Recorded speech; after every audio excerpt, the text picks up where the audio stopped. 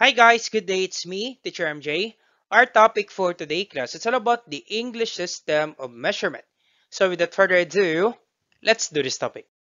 Now we do have three systems of units of measure. The first one, we have the traditional or non-standard. The second one, we have the English system. And the third one, we have the metric system. Now we're done discussing traditional or non-standard. So if you want to learn more about traditional or non-standard units of measure, I will just put the link on the description down below.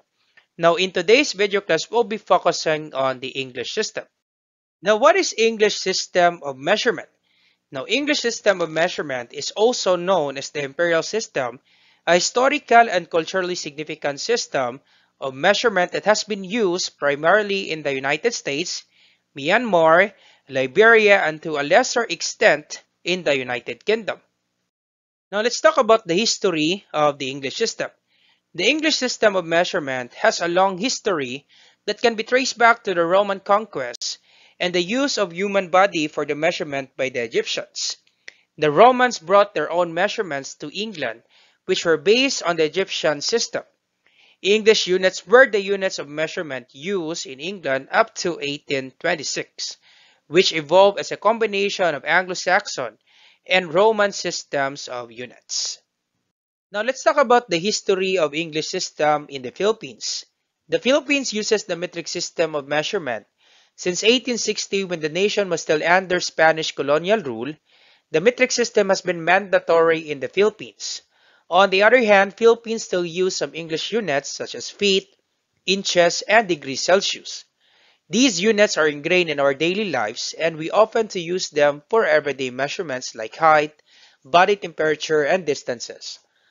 While the Philippines has officially adopted the SI system or the metric system, some English units remain common in everyday life.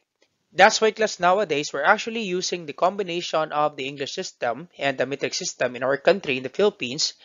Let me give you example class. For example class, our height there are other companies that they will be measuring your height using feet and inches, and those are example of the English system. And other companies, they will be measuring your height by using the units meters, and meters, those are example of the metric system. So it's actually class combination of the metric system and the English system in our country today, in the Philippines. Now let's talk about the types of units of English system of measurement. So the first one, we have the unit length. The second one, we have the unit weight. And the third one, we have the unit capacity. So let's explain more class with regards to the unit length. So for the unit length class, these are example for the English system units of length. So we have inches, we have feet, we have yards, and then we have miles. So let's have the conversion for this one. So that would be 1 foot is equal to 12 inches. And then 1 yard is equal to 3 feet. And then 1 mile is equal to 5,280 feet. Now, with regards to the conversion of units class for the English system, I do have a video for that. And I will just put the link on the description down below. So if you want to learn more class on how to convert unit lengths with regards to the English system, I will just put the link on the description down below class. Feel free to see the video class. Let's proceed now for the unit weight. Now let's talk about the English system units of weight. So the first unit, we have the unit ounces and the abbreviation that would be OZ. And this is one of the instruments to measure ounces. And the next unit, we have the unit pounds and the abbreviation that would be LB. So we can use a weighing scale in which the unit is set to pounds. And then the last unit for weight, that would be ton and the abbreviation that is T. So we can use the electronic platform. So this will be the weighing scale for heavy duty item. So we can use ton in measuring those type of items because in which the items are quite heavy. So we will be using the electronic platform. Alright, and this will be the conversion. So we have 1 pound is equal to 16 ounces. And then 1 ton is equal to 2,000 pounds.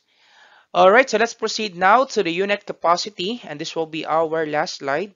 So English system units of capacity, our first unit, we have the fluid ounces and the abbreviation is FLOZ. And the second unit, we have the unit cups and the abbreviation is C. And the third unit, there would be pints, and the abbreviation is PT. And then we have quarts, the abbreviation is QT. And then the last one, we have gallons, and the abbreviation is GAL. So this will be the instrument class to measure fluid ounces cup, pints, quarts, and then gallons. So we will be using this instrument. And this will be our following conversion. So we have one cup is equal to 8 fluid ounces. And then one pint is equal to 2 cups. One quart is equal to 2 pints. And then one quart is equal to 4 cups. One gallon is equal to 4 quarts. And then one gallon is equal to 16 cups. Once again, class, with regards to the conversion of the English system, the conversion of the unit length, the unit weight, and then the unit capacity, I will just put the link on the description down below. Feel free to see the conversion of units class. So that's it class for the English system. So I hope you learned something new today. If you like this video, do not forget to like, share, and subscribe. You share it to your friends and to your classmates so that we can help more students. Once again, this is Teacher MJ. Have a great day class. Goodbye for now. Bye-bye.